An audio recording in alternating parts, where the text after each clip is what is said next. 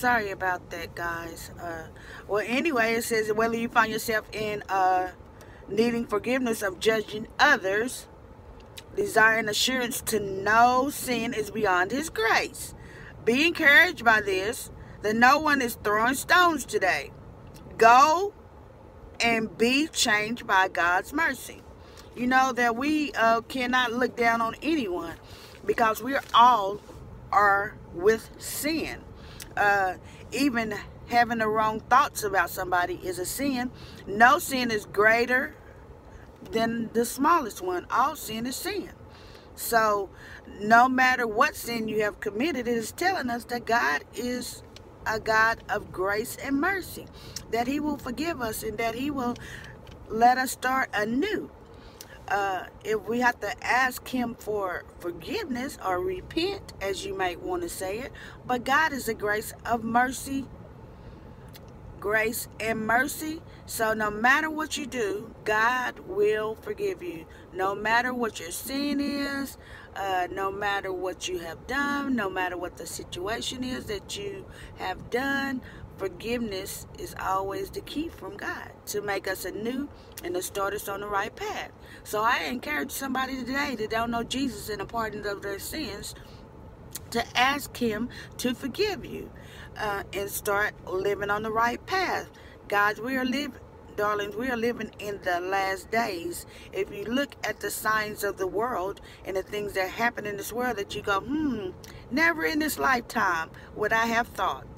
Uh, it's telling us in the Bible everything that's going to happen and it's giving us signs. Time is winding down and um, I just encourage somebody that if you don't have your life right, because I don't want to see nobody be left behind, you know, um, get closer to God, draw closer to Him because it's, the time is drawing near. So I'm just going to um, go ahead and close this thing out. I thank you guys for taking time out to uh, discuss my little reading for today. Um, we all need Jesus and we need him every day. So um, if you haven't already, please hit that subscribe button, that one down there, that red one right there, and turn it from red to gray and become part of my uh, darling family because that's what I consider you all. And while you're right there, go ahead and hit that bell so you know up time that I upload.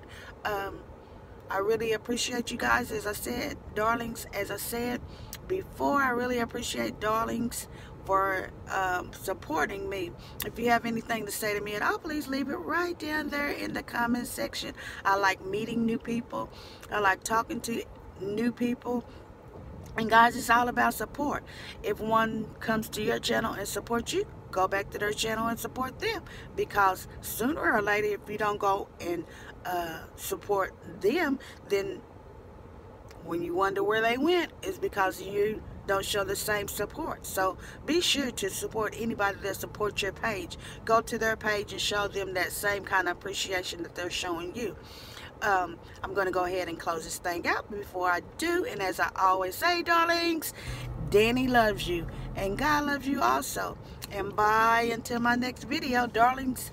Be blessed.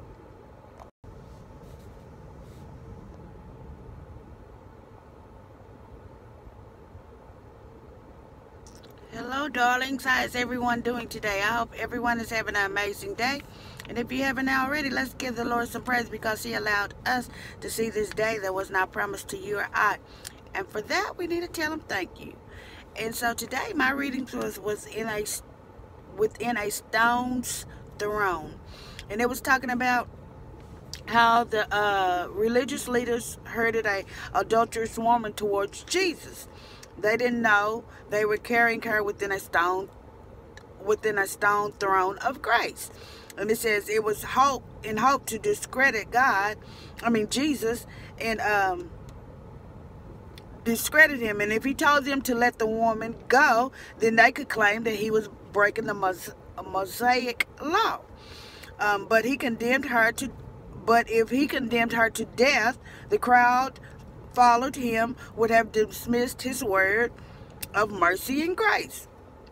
But Jesus turned the tables on the accusers.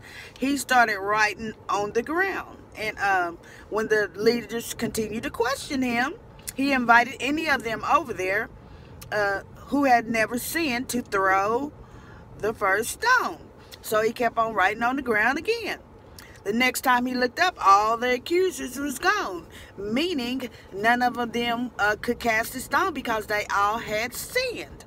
And uh, it says the only person that could throw, throw a stone um, uh, looked at the woman and gave her mercy, which was Jesus.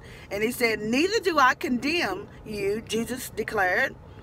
Go now and live your life of sin. Leave your life of sin. John 8 and 11. And it says, whether you find your